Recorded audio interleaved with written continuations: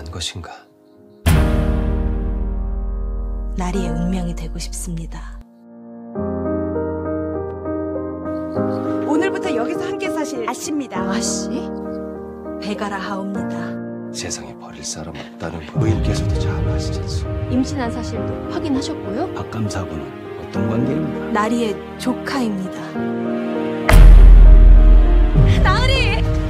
자네는 알고 있겠지. 율관이 완성되는 대로 넌 입고할 것이다.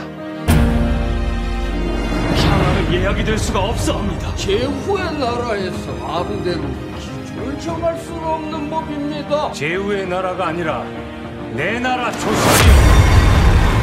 꿈을 꾸었습니다. 수백 개의 초가 방 안을 가득 채우고 불꽃을 피웠어요.